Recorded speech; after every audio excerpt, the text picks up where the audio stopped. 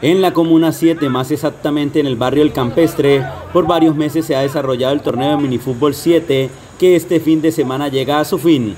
Este domingo a participar de la gran final entre el combo de Amado y el combo de Welmer en el barrio El Campestre. Igualmente irá por el tercer puesto y cuarto puesto Aguas versus Constructores.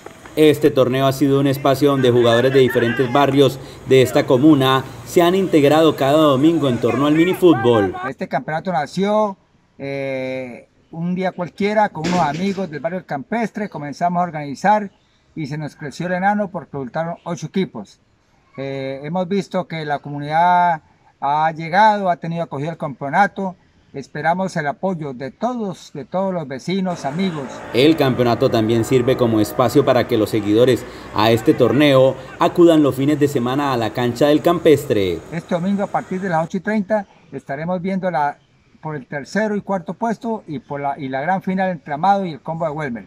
Gracias a Enlace 10, a su director, a sus colaboradores por tenernos en cuenta en esta nota. Desde ya la organización piensa en lo que será la segunda versión del campeonato en el mes de septiembre.